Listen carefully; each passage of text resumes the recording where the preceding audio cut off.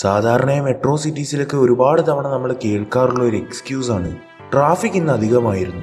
അതുകൊണ്ടാണ് ഞാൻ ലേറ്റ് ആയത്. എന്നാൽ സത്യത്തിൽ ട്രാഫിക് എന്നത് പെട്ടെന്നൊരു ദിവസം എവിടെ നിന്നോ പൊട്ടിമുളയ്ക്കുന്ന ഒന്നല്ല. ഞാൻ ലേറ്റായി ഇറങ്ങിയത് കൊണ്ടാണ് ലേറ്റായി എത്തിയത് എന്ന് പറഞ്ഞ് അതിന്റെ ഉത്തരവാദിത്വം ഏറ്റെടുക്കാൻ ആളുകൾ തയ്യാറാകുന്നില്ല. അതുകൊണ്ട് തന്നെ അവർ ജീവിതകാലം മുഴുവൻ ലേറ്റ് ആയിക്കൊണ്ടേയിരിക്കും. കാരണം ഇന്റഗ്രിറ്റി ഫോളോസ് അക്കൗണ്ടബിലിറ്റി അക്കൗണ്ടബിലിറ്റി ഇല്ലാത്തവരിടത്ത് ഇന്റഗ്രിറ്റിയും ഉണ്ടാകില്ല. ചെറിയ ചെറിയ കാര്യങ്ങളുടെ ഉത്തരവാദിത്വം ഏറ്റെടുക്കാൻ നിങ്ങൾ തയ്യാറായില്ലെങ്കിൽ നിങ്ങളുടെ ജീവിതത്തിൽ ഒരു ദിശ നൽകാനും നിങ്ങൾക്ക് സാധിക്കില്ല. എന്നാൽ സത്യത്തെ അവഗണിക്കുക എന്നത് ഇന്ന് വളരെ ഫാഷനബിൾ ആയിട്ടുള്ള സാധാരണമായ ഒരു കാര്യമായി മാറിയിരിക്കുകയാണ്. ആളുകൾ നുണകൾ സത്യമാണെന്ന് വിശ്വസിക്കാൻ തുടങ്ങി. ആ നുണകൾ നമ്മളെ ദുർബലരാക്കിയിരിക്കുന്നു. ഉദാഹരണത്തിന് കുറെ പേര് പറഞ്ഞു കേട്ടതാണ് കോവിഡിന് മുൻപ് എല്ലാം ഓക്കെ ആയിരുന്നു. എന്നാൽ ഇപ്പോൾ ജോലി ചെയ്യാൻ തോന്നുന്നില്ല. സമയം വെറുതെ നഷ്ടമാവുകയാണ്. എനിക്ക് ഭാവിയെക്കുറിച്ച് ഓർത്ത് ഭയമുണ്ട്. എന്നാൽ എന്ത് ചെയ്യണമെന്ന് എനിക്ക് മനസ്സിലാകുന്നില്ല. അത് മിക്കപ്പോഴും ഒരു നുണയായിരിക്കാനാണ് സാധ്യത. സത്യം എന്തെന്നാൽ നിങ്ങൾ വിഷമിച്ചിരിക്കാനുള്ള കാരണം എന്തുമായിക്കോട്ടെ? കോവിഡ് കാരണം നിങ്ങളുടെ റൂട്ടീനിൽ വന്ന മാറ്റമാകട്ടെ. അല്ലെങ്കിൽ നിങ്ങളുടെ ജോലി നഷ്ടമായതുകൊണ്ടാകട്ടെ. മറ്റെന്തുമാകട്ടെ? സത്യത്തിൽ നിങ്ങൾ മാറുന്നതിന് പകരം ഇംപ്രൂവ് ചെയ്യുന്നതിന് പകരം തോൽവി സമ്മതിച്ച് സ്വയം കുറ്റപ്പെടുത്തിക്കൊണ്ടിരിക്കുകയാണ്. അതുകൊണ്ട് ഇനിയെങ്കിലും സ്വന്തം മനസ്സിനോട് സത്യം പറയുക. വീണ്ടും ഒരു ടൈം ടേബിൾ പിന്തുടരുന്നതിന് പുതിയൊരു ജോലി അന്വേഷിച്ച് കണ്ടെത്തുന്നതിന് കഠിനാധ്വാനം ആവശ്യമാണ് എന്ന് എനിക്കറിയാം. എനിക്ക് ലഭ്യമായ സമയം കൊണ്ട് എന്തെങ്കിലുമൊക്കെ ചെയ്യാൻ കഴിയുമെന്നും എനിക്കറിയാം. എനിക്ക് കുറഞ്ഞ പക്ഷം എന്റെ മനസ്സിനെയും ചിന്തകളെയും നിയന്ത്രിക്കാനും ശരിയായ ദിശയിലേക്ക് തിരിച്ചുവിടാനും സാധിച്ചിരിക്കും. എന്നാൽ ഇതൊക്കെ ചെയ്യണമെങ്കിൽ കഠിനാധ്വാനം ആവശ്യമാണ്. എനിക്ക് കഠിനാധ്വാനം ചെയ്യുന്നത് മടിയാണ്. അങ്ങനെയല്ലായിരുന്നുവെങ്കിൽ ഞാൻ എന്റെ ബുദ്ധിയും ക്രിയേറ്റിവിറ്റിയും യുക്തിയും ഉപയോഗിച്ച് ഏതെങ്കിലും ഒരു മാർഗം ഇതിനുള്ളിൽ കണ്ടെത്തിയേന്.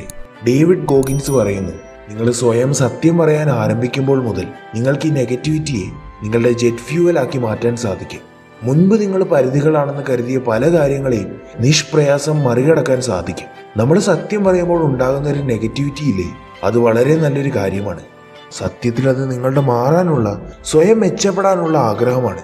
നിങ്ങൾ ഏതൊക്കെ കാര്യത്തിലാണ് ഉത്തരവാദിത്വം ഏറ്റെടുക്കാത്തത് എന്ന് കണ്ടെത്തണം. എന്നിട്ട് ആ സത്യം ഒരു മടിയും കൂടാതെ സ്വയം പറയണം. എന്നാൽ എന്തുകൊണ്ട്? നിങ്ങൾക്ക് നിങ്ങളുടെ വെല്ലുവിളികളെ മറികടക്കാനായി ഒരു ക്ലാരിറ്റി ആവശ്യമാണ്.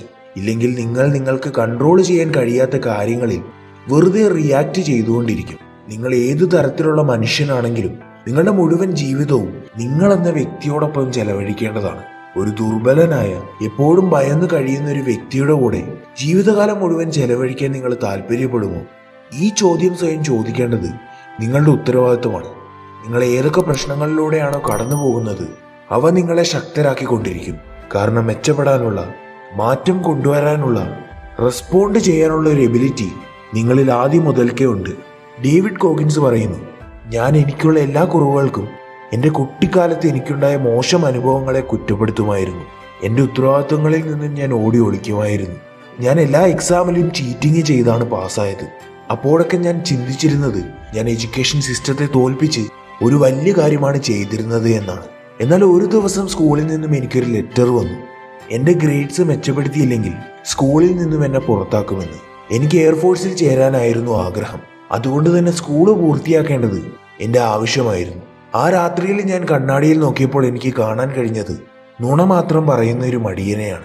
ആ മടിയനെ സത്യം പറഞ്ഞ് മനസ്സിലാക്കേണ്ടത് ആവശ്യമായിരുന്നു. ഞാൻ ആ കണ്ണാടിയിൽ നോക്കി പറഞ്ഞു നിന്റെ ആഗ്രഹം എയർഫോഴ്സിൽ പോകാനാണ്.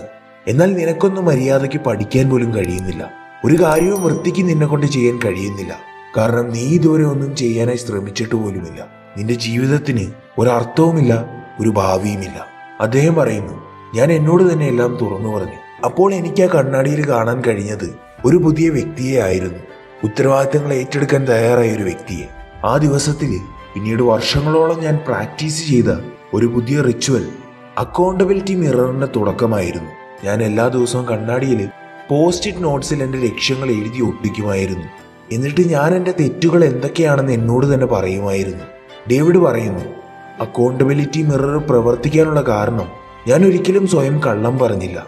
നിങ്ങൾ നിങ്ങളുടെ ജോലിയിൽ തൃപ്തരല്ലെങ്കിൽ നിങ്ങളുടെ ഓരോ ദിവസത്തെയും ലക്ഷ്യങ്ങൾ നിങ്ങൾക്ക് പൂർത്തിയാക്കാൻ കഴിയുന്നില്ലെങ്കിൽ എപ്പോഴൊക്കെയോ നിങ്ങളും സ്വയം കള്ളം പറയാൻ ആരംഭിച്ചിരിക്കുന്നു.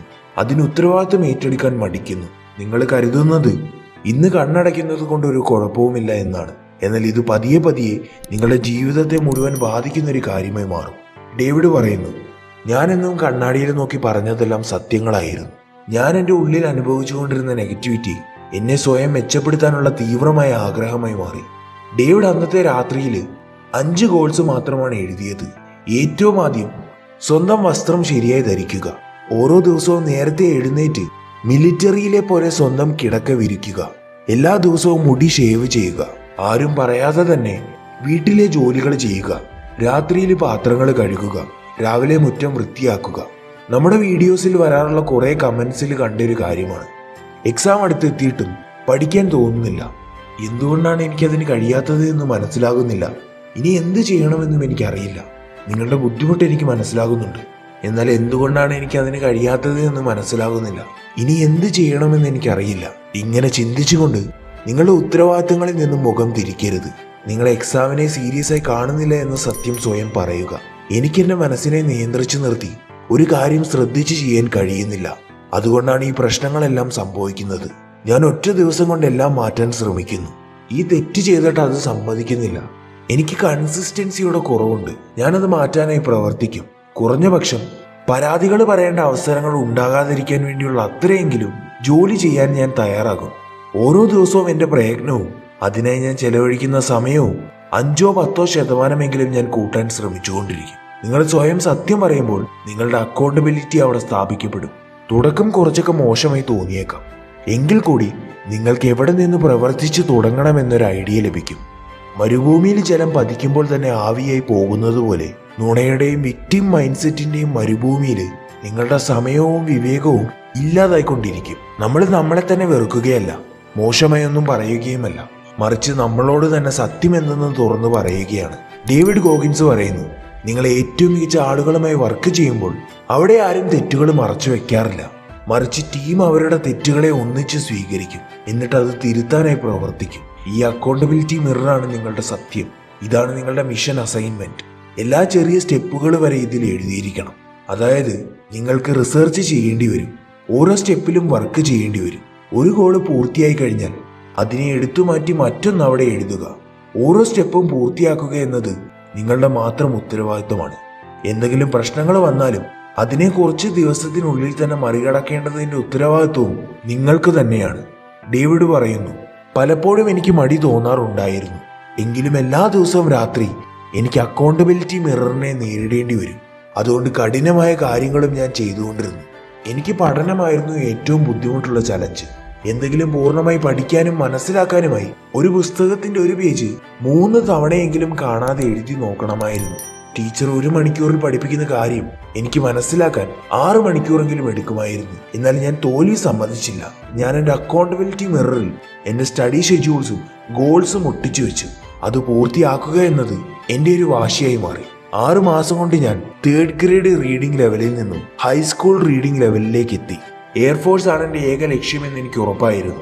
അതുകൊണ്ട് ഞാൻ ഓരോ ദിവസവും അക്കൗണ്ടബിലിറ്റി മിററിൽ എന്റെ ലക്ഷ്യങ്ങൾ എഴുതി അത് പൂർത്തിയാക്കിക്കൊണ്ടിരുന്നു. നിങ്ങൾ ഓരോ ദിവസവും നിങ്ങളുടെ അക്കൗണ്ടബിലിറ്റി മിറർ നോക്കുമ്പോൾ എത്രമാത്രം നിങ്ങൾ മുന്നോട്ട് ചലിച്ചുകൊണ്ടിരിക്കുകയാണെന്ന് നിങ്ങൾക്ക് മനസ്സിലാക്കാൻ സാധിക്കും. പ്രശ്നങ്ങൾ നിങ്ങളെ തടയുന്നില്ല. മറിച്ച് അവ നിങ്ങളെ മെച്ചപ്പെടുത്തുന്നു. ഈ സത്യം നിങ്ങൾക്ക് അക്കൗണ്ടബിലിറ്റി മിറർ കാണിച്ചു തരും. ഈ വീഡിയോ ഇഷ്ടമായെങ്കിൽ തീർച്ചയായും ഇത് നിങ്ങളുടെ സുഹൃത്തുക്കൾക്കും പ്രിയപ്പെട്ടവർക്കും ഷെയർ ചെയ്തു നൽകുക.